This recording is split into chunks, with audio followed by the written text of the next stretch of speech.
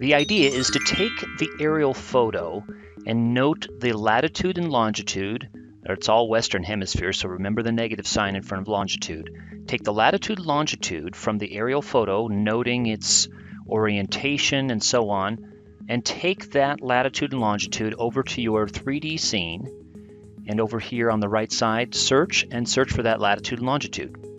You're going to zoom to it, and then you're going to change the base map to a satellite image. We're going to zoom out just a little bit and then take a look at, in this case, Linton, North Dakota. Notice the golf course with these beautiful pines in the foreground and Linton, North Dakota in the background.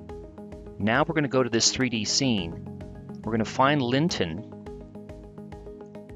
and there it is.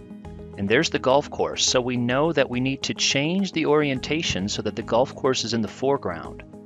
Okay, we're going to zoom in a little bit on that. And we're also going to check the, notice the roads, the orientation of the roads. Okay, and go back to the 3D scene. We're going to need to change it a little bit so that we're adjusting it slightly so that the golf course is here. Now let's check the aerial. We see a little bit more in the background here. So we're going to maybe zoom out just a little bit and check the aerial once again. I see that road in the foreground and here I see that road and I'm going to change it ever so slightly so we're we're looking at it this way, not quite where north is at the left side. In other words, we're looking at this east, due east almost, but not quite due east.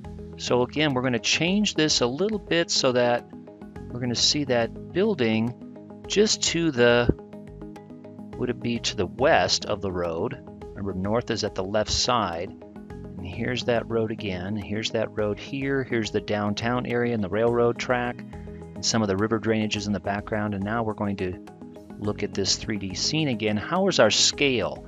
We see basically from one end of the golf course to the other, and notice that my 3D scene that I've got just a little bit too much. In other words, I'm, I'm zoomed too far out. So let's go ahead and zoom in just a little bit. And then let's adjust this just a little bit here and so now we're getting close to what the aerial says. Maybe tilting it just a little bit, right like that. And then bit more. There we go. Now I can still see the downtown and I can see a little bit more of the town in the would be the east side of town. So I'm going to tilt. There we go. So now he's got a little bit of the surrounding area and what do we have here? It's where the air, where the uh, railroad track goes out to the east. Do I see that here?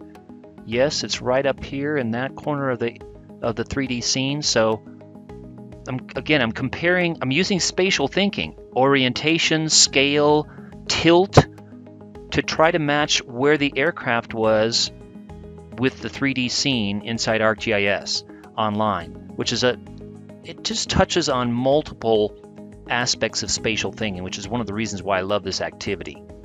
So right now, I'm seeing this and I'm seeing this. I could sign in and save this as a slide in my 3D scene viewer, but I'm just going to go with a very simple proof of concept to how to compare this and build that. Thanks.